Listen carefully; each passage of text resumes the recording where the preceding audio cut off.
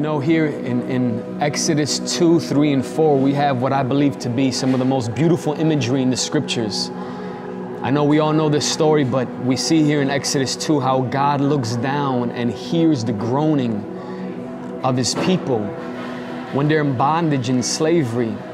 But it's interesting that in 224 says that he remembers his covenant with Abraham, Isaac, and Jacob. What caused the cries of the people to touch his heart in such a deep way to where he looks now to raise up the deliverer that he has had in training is his remembrance of the fact that he covenanted with a man. He gave a man a promise and he entered into a deep heart to heart covenant with a man. And the fact that this man was the father of a nation that he himself sought covenant with, that would in essence introduce his covenant son to the nations.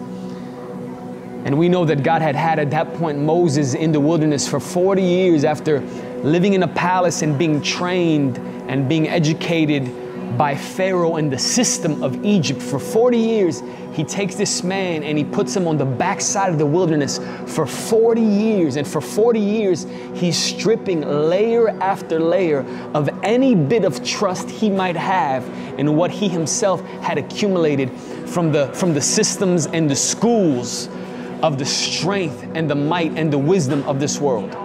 Any trust he might have in himself, in and of himself, just like we know at the very foundation of the kingdom of God when Jesus teaches on a Sermon on the Mount.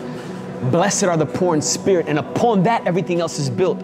He's stripping Moses of any, any bit of wealth he might have outside of dependency upon him.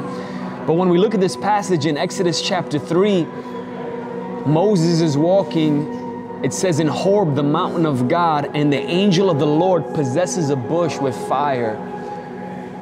What, what exactly is so significant about a bush? There's nothing at all significant about a bush on the backside of the wilderness. In the very encounter, God is showing Moses the nature of what he's seeking to establish in a covenant people.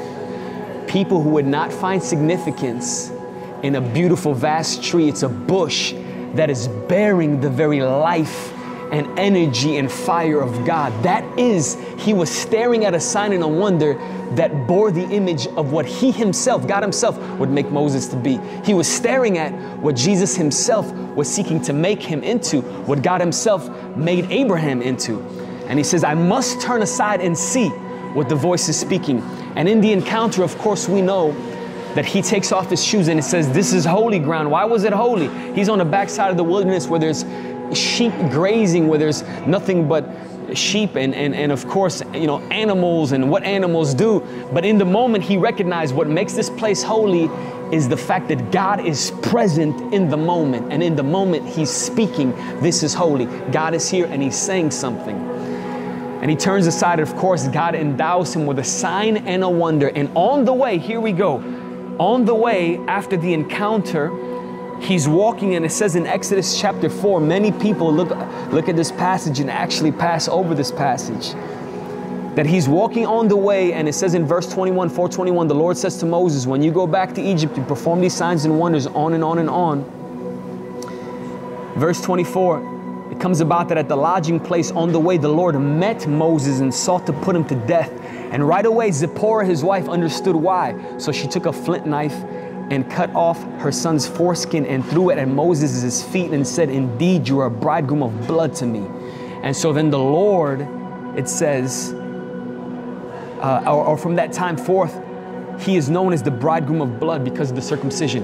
What's so interesting about that is the fact that when God covenanted with Abraham, the circumcision and blood represented just that covenant. What is why did God hear the cries? Because of the covenant promise he made to a man and the covenant he sought with a nation. That would look like what? That would look like a people like Moses, stripped of any self-confidence or self-dependence or the things that cause to, to, to uh, this world to go round and, and, and, and the applause that men give, the strength of man, so that we ourselves would, would look like a a bush, insignificant at all in and of ourselves, but that hosts divine life that burns with purity and beauty and humility and love, and that looks like covenant. Moses is called out by God to deliver a people from slavery and captivity, and he's endowed with a sign and a wonder and is given a voice. But if he himself does not tie into covenant with the Lord, to where he's establishing covenant in his body, in his family, and he presents that to the people, God says, I would rather do without you. 40 years invested 40 years invested, a sign, a wonder, and a voice. If you don't walk in covenant, I'll raise up another man. We'll start over again. Because God is after the finished product. And this is what God is after to raise up a people who bear His image in a covenant way, who would not trust in themselves, but would bear the image of the bridegroom who has liberated us by His blood.